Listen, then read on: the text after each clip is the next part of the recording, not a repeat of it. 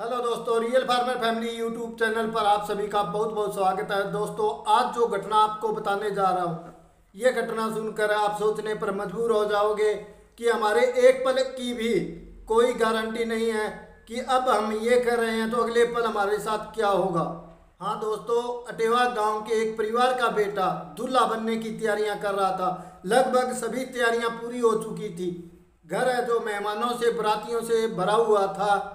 सभी परिवार के सदस्य खुश थे, क्योंकि आज उनके बेटे कमल की शादी थी। ये जो घटना है, ये 29 मई 2023 अभी की ये घटना है दिन था सोमवार का। कमल दूल्हा बनने के लिए पहले स्नान करता है, फिर आँगन में लगी हुई कुर्सी के ऊपर आकर बैठ जाता है, कपड़े पहनता है। कपड़े पहनने के बाद जैसे ही सभी तैयारियाँ पूरी हो चुकी थी, बस अब सहरा सजने वाला था। उसी समय कमल के अटैक का दौरा पड़ जाता है। बरात के लिए आए हुए रिश्तेदार व गाँव के लोगों ने जब देखा कि कमल बेहोश हो गया है, उसके क्या हुआ?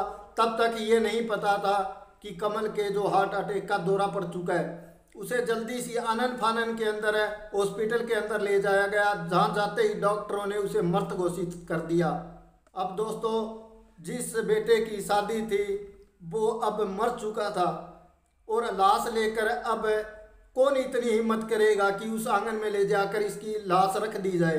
परंतु फिर बहुत ज़्यादा हिम्मत करके, दिल कड़ा करके, क्योंकि ये करना भी था। जो साथ गए हुए लोग थे, वो कमल की लाश को लेकर आ जाते हैं।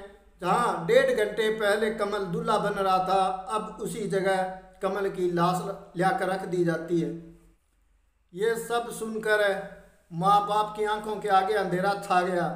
और स्वाभाविक बात है दोस्तों, जिस घर के अंदर इतनी ज़्यादा खुशियाँ हो, ऐसे सोचा जा रहा हो कि अब हमारा बेटा दूल्हा बन रहा है।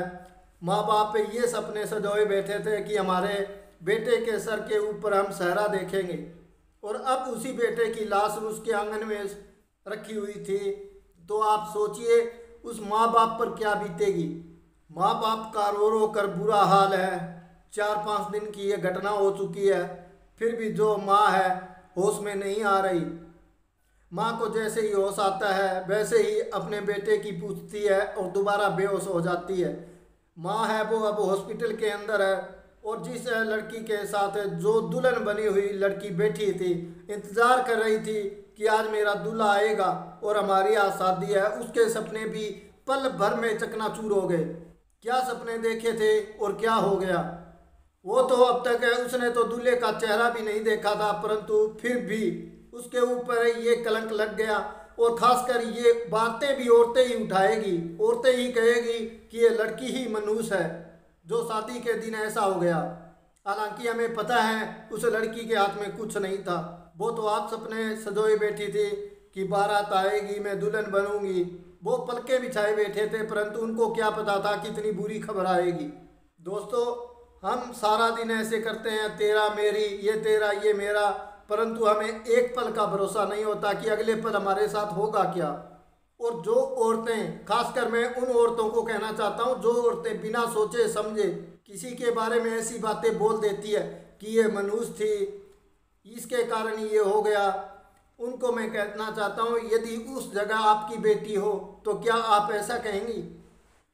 तो जो भी किसी के बारे में बोलो, सोच समझ के बोला करो।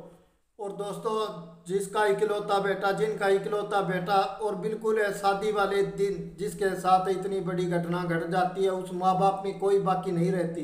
जिसका हम अनुमान भी नहीं लगा सकते शायद है कि आज उनके ऊपर क्या बीत रही है, और आगे भी उनके ऊपर क्या बीतेगी। ऐसा तो किसी बेरी दुश्मन के साथ भी ना हो, जो ये घटना घटी है। बेटा है जो बूढ़े माँ बाप का सहारा होता है और जो बेटा शादी वाले दिन ही माँ बाप को छोड़कर चला जाए, उस माँ बाप पर क्या बीती है? इसका अंदाज़ा शायद ही हम कभी लगा पाए। दोस्तों, इस घटना की मैंने वीडियो देखी थी एक, उसके नीचे जो कमेंट है, वो कमेंट पड़े थे। उन कमेंट के अंदर किसी ने लिख रखा था कि जो लड़की है, उस लड़की की जो जन्म है वो सही समय में नहीं हुआ। तब मैं कह रहा हूँ, ये बातें ज़्यादा कर, खासकर औरतें ही ऐसी बातें करती है। मनुष्य कहना, ये नहीं हुआ, वो नहीं हुआ।